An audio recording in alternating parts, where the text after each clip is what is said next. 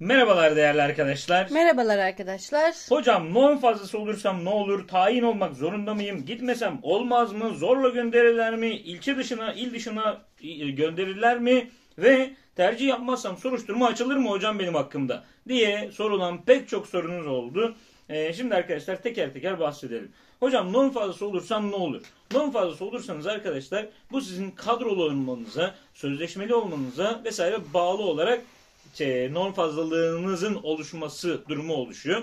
Nasıl yani hocam? Bir, kadroluysanız eğer arkadaşlar e, ve başka kadrolu öğretmenler varsa branşınızda mesela iki tane fizikçi var ikisi de kadrolu öğretmen. Bu durumda hizmet puanı düşük olan öğretmen e, kadro e, öğretmen norm fazlası olmuş olur. E hocam ikimizin de hizmet puanı aynı. O zaman süreye bakılır arkadaşlar. Kim daha az süreye sahipse, kim daha geç başlamışsa o zaman e, o norm fazlası olur. Daha erken başlayan norm fazlası olmaz. Ama genelde bu durum oluşmuyor.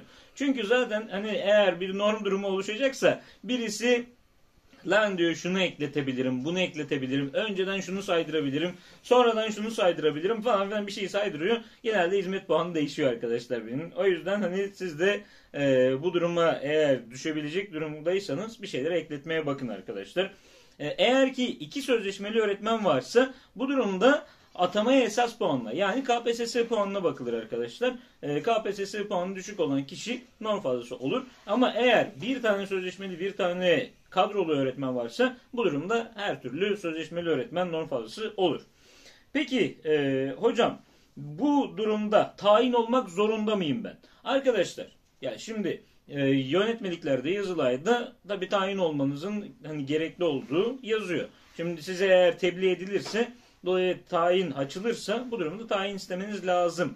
Ancak bazı yıllarda milli eğitim e, zorlamayabiliyor. Yani hani gitmek istemeyen yani şimdi tayinler açılıyor. Siz tercih yapmadınız diyelim veya yaptığınız tutmadı diyelim. Bu durumda bazı yıllar Milli Eğitim diyor ki istemeyenler kalabilir yerinde diyor. Ama bazı yıllarda da zorlayabiliyor. Bu durumda da gitmek zorunda kalabiliyorsunuz. Ee, böyle durumlar söz konusu olabiliyor arkadaşlar. Ee, peki hocam e, gitmesem olmaz mı zorla gönderirler mi? Dediğim gibi yıla bağlı olarak bu durum değişir arkadaşlar. Ee, ilçe dışına, il dışına gönderirler mi hocam? Ve bu durum nasıl oluşuyor? Şimdi arkadaşlar ter, tercih ve tayinden bahsedeyim bu durumda. Şimdi diyelim size norm fazlası olduğunuz tebliğ edildi.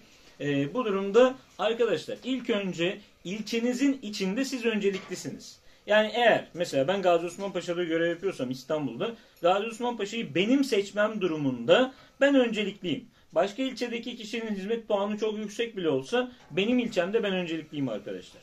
Ancak istersem ilinde herhangi bir yerin seçme hakkına sahibim. Yani boşluk varsa eğer ben Arnavutköy'ü de seçebilirim. Başka bir işte Kartal'ı da seçebilirim. Veya Pendik'i de seçebilirim. Her yeri seçebilirim. İlin içinde tercih hakkı size ait arkadaşlar. Yani boşluk olan yerler içerisinde istediğiniz seçme hakkına sahipsiniz. Ee, hocam il dışını seçemez miyim? İl dışını seçemezsiniz eğer il içinde boşluk varsa arkadaşlar. Yalnız bazı branşlarda hani bu genelde işte matematik, biyoloji, fizik, kimya, din, kültürü gibi şeylerde olmaz da e, mesela hani genelde muhtemelen olmaz da hani mesela meslek branşlarında olduğunu mesela bir iki defa duydum arkadaşlarımızdan, yazan arkadaşlarımızdan duydum. Hani mesela gazetecilik branşınız ve bir tek sizin okulunuz var zaten. E ama norm fazlası oldunuz. Bu durumda il dışına bile e, gönderilme durumunuz söz konusu olabilir arkadaşlar. E, yani bu açılma durumu söz konusu olabiliyor arkadaşlar. Tercih yapmasam soruşturma açılıyor mu? Böyle bir şey zaten söz konusu değil. Bunu da soran bir arkadaşımız olmuştu. Öyle bir şey olmaz arkadaşlar. Peki, Peki zorla beni Hı. kendi kafalarına göre mi yerleştirirler? Mesela şimdi ben başvuruyu yapmadım. Norm fazlasıyım biliyorum. Bana yap dediler. Ama ben dedim ki kadere kısmete ya. Hani belki de göndermezler beni. Okulumdan da çok memnunum dedim. Ve tercihimi yapmadım. İşte o durum bakanlığa kalıyor. Bakanlık eğer isterse göndermeyebilir. Yani zorlamayın bu sene diyebilir. Eğer isterse de zorlayabilir. Ee, bu durum artık o durumdan sonra kadere kısmete kalıyor arkadaşlar. Zorlarsa yine il içinde mi zorlar yoksa başka ile gönderir mi? İl içinde canım yani hani dediğim gibi yani bra- genel branşlarda bu tip bir sıkıntının olacağını sanmıyorum yani. Yani matematikte mesela koca İstanbul'da yer olmaz mı? Ya koca hani yani Muş koca değil ama Olsun. hani Muş'un içinde bir sürü ilçe var yani sonuçta hani yer olmaz İlk olarak yani ilçe elbet. içerisinde sonra il içerisinde. tercih konusunda ilçede sen önceliklisin. Yani sen seçersen o ilçeyi sana Hı. geliyor. Ama istersen ilin diğer ilçelerinde seçme hakkına sahipsin. Mesela ben de Yok, sana bir soru soracağım. Ee, mesela senin bulunduğun okullarda hiç norma girip de zorla gönderilen olmuş muydu? Hiç olmadı. Bizim Bak, sadece... işte bende de olmadı. Yani ben ne zaman denk geldi ama bana İstanbul'dayken bundan işte 5-6 sene önce bir arkadaş vardı. Matematikçi var diye bir e, kadın hocamız hatırlarsın. Evet evet. E, Bursalıydı o da. Mesela o iki sene hem de norm fazlası oldu gönderilmedi. Yani e, hani belli olmuyor Evet, bu. evet. Belli olmuyor yani. Bizim de mesela geçen gün öğretmen arkadaşlarla konuşuyoruz da onlar da öyle dediler. Hani kaçıncı oldu norm fazlası hani olan arkadaşlar var dediler. Ama şey yapmıyorlar hani göndermiyorlar aynen devam ediyoruz dediler.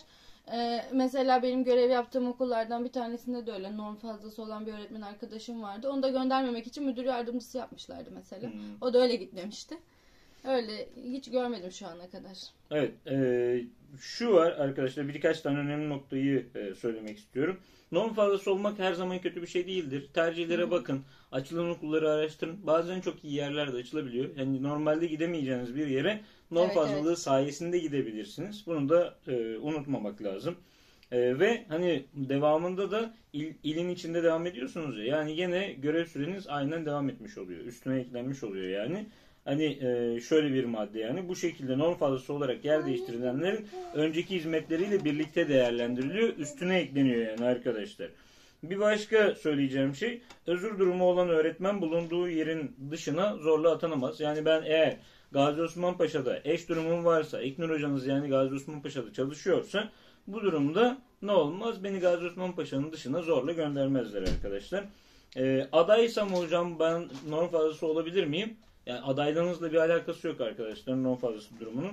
Ee, o kurumdaki norma bağlı olarak değişiyor bu durum. Ve dediğim gibi istediğiniz ilçeyi seçebilirsiniz. Ancak e, ilçeniz içinde önceliklisiniz. E, bazı yerlerde de şöyle duyumlar var. İşte hocam son gelen gider, son gelen gider diyorlar. Böyle bir şey yok arkadaşlar. Sözleşmeli öğretmenler arası norm fazlalığında puanı düşük olan gider. E, kadrolu öğretmenler arasında hizmet puanı düşük olan gider. Durum bu şekildedir arkadaşlar. Evet. O son gelen gider şey oluyor ya. Hani eski öğretmenle aranda bir bağ olduğu için o gitsin istemiyorsun. Evet. Hani böyle bir de arkadaşınsa hani iyi geçinen bir insansa bu sefer hani yeni gelen gitse daha iyi olacağı geliyor birazcık.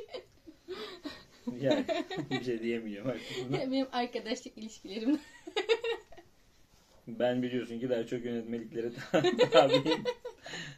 Yani ya dediğim gibi durum bu arkadaşlar. Artık hani riski almak e, vesaire size kalıyor. Ha hocam siz olsanız ne yapardınız diyen birkaç kişi de oldu.